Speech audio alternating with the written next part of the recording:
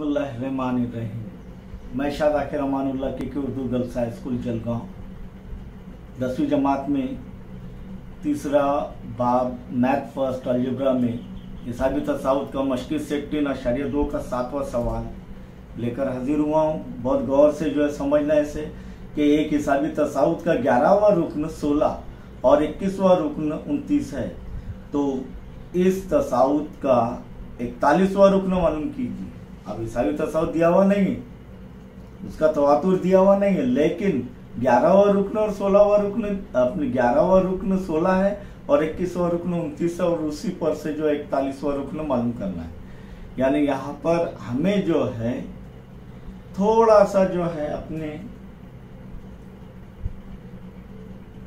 जहन को पॉलिश करना है और पिछले साल जो हमने दो मुदगयूरी ख़ती मसावत है और इस साल जो है, दो मुदगयूरी ख़ती मसावत है पहले बाब में अलजबरा में पढ़े हैं, उसके मुताबिक जो है इसे हल करना पड़ेगा हमें। एक हिसाबी तसावत का ग्यारहवा रुकन, यानी क्या जो दिया हुआ पहले लिख लो, ग्यारहवा रुकन, यानी टी इलेवन बराबर क्या है सोलह, और इक्कीसवा रुकन उनतीस, यानी टी ट्वेंटी वन बराबर कितना है उनतीस।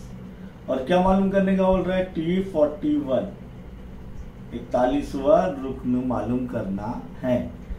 तो अब ये जो है, इस तसावत का इकतालीसवा रुकन मालूम करना है तो सबसे पहले कुछ नहीं करना है। सबसे पहले हम आधा मार्क हासिल कर लेते हैं। टी एन बराबर ए जमा एन नफी एक जर डी अब टी ग्यारह के लिए टी ग्यारह के लिए एन बराबर क्या आ रहा है प्यारे बच्चों? एन बराबर ग्यारह। वेरी गुड चलिए इसमें रख देते हैं। तो टी ग्यारह बराबर ए जमा। ग्यारह नफी एक। एन की कीमत ग्यारह है यानी जर्ब डी टी ग्यारह कितना है प्यारे बच्चों? सोलह। बराबर ए जमा। ग्यारह में से एक गए दस। दस डी इसे मसावत एक दे देंगे। इसी तरह टी इक्कीस के लिए एन बराबर क्या है? इक्कीस। इसीलिए ये जाब्ते में रखेंगे तो टी इक्कीस बराबर ए जमा इक्कीस नफी एक जरब डी टी इक्कीस क्या है? उनतीस। उनतीस बराबर ए जमा इक्कीस में से एक गया, बीस बीस जरब डी, बीस डी। नंबर दो की मसावा। अब नंबर दो के नीचे नंबर एक लिख देंगे। देखिए, दो मुदगयूरी खती मसावतें आ गई है। हमजाद मसावतें है क्या नहीं? इस तरीके से हल करना है। अब यहाँ पर ए के ज़रिए मसावी है, डी के ज़रिए मसावी नहीं, लेकिन ए के ज़रिए मसावी मसावी है और अलामतें भी मसावी है तब हम क्या करते हैं? तफरीक करते हैं, तफरीक करते हैं तो नीचे की जो है मसावत की अलामतें तब्दील हो जाती है। जो जमा नफी हो जाएगा, जो नफी है वो जमा हो जाएगा। तो यहाँ पर उनतीस में से सोलह गए। कितने बचे? तेरह। या नौ में से छह गए, तीन बचे, दो में से एक गया, एक बचा। तेरह बराबर। ए में से एक, ए गया सिफर बीस में बीस डी में से दस डी गए, कितने बचे? दस डी। और यहाँ पर क्या किया हमने? दो नफी एक समझ में आया? समझ में आ रहा है क्या आपके? इसीलिए आगे हल करेंगे डी बराबर तेरह बराबर दस डी, यानी डी बराबर क्या हो जाएगा? तेरह बटे दस। तेरह बटे दस एक ही दस दस एक ही दस। फिर तीन बचा तो आशार्य लेंगे, सिफर लेंगे दस त्रिक तीस। या नसब नुमा में एक सिफर है तो शुमार कुनिंदा के एक लिखने से पहले आशारिया लगेगा। तो यहाँ पर क्या आ रहा है? एक आशारिया तीन। यानी डी की कीमत हासिल होगी हमारे पास एक आशारिया तीन। ओके? अब क्या मालूम करना है हमें? इकतालीसवा रुकन। पहला रुकन कैसे मालूम करेंगे?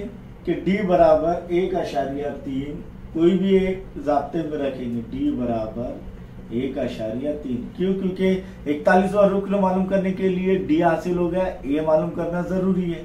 और एन की कीमत इकतालीस है तो हम जो इकतालीस और रुकना आसानी से हासिल कर लेंगे। तो डी बराबर एक अशरिया तीन, एक में, मसावत एक में रखने पर। क्या हासिल हो रहा है प्यारे बच्चों? देखो, एक में रखेंगे तो सोलह बराबर ए जमा दस, जर एक अशारिया तीन।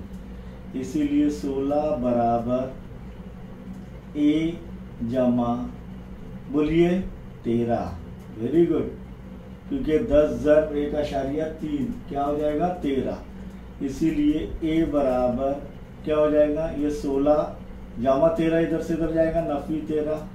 तो सोलह नफी तेरह बराबर ए यानी ए बराबर सोलह नफी तेरह तो ए की कीमत क्या आ रही है? सोलह में से तेरह गए, कितने बचे? बोलिए, तीन। वेरी गुड अब हमारे पास टी इकतालीस के लिए ए बराबर तीन ए बराबर तीन डी बराबर एक आशारिया तीन और एन बराबर क्या आएगा? एन बराबर इकतालीस। वेरी गुड एन बराबर इकतालीस। इसीलिए फिर से इसी जाब्ते में, इसी जाब्ते में रखने पर टी इकतालीस बराबर ए की कीमत क्या है? तीन। जमा एन नफी एक, इकतालीस नफी एक, जरब डी जरब एक अशारिया तीन।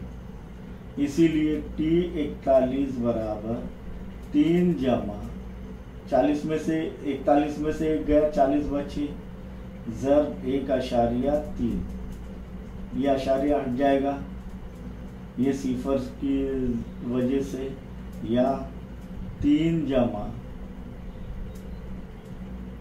बोलिए चार जर तेरह। ये सिफर की वजह से अशारी हट जाएगा। अब तेरह चौक बावन।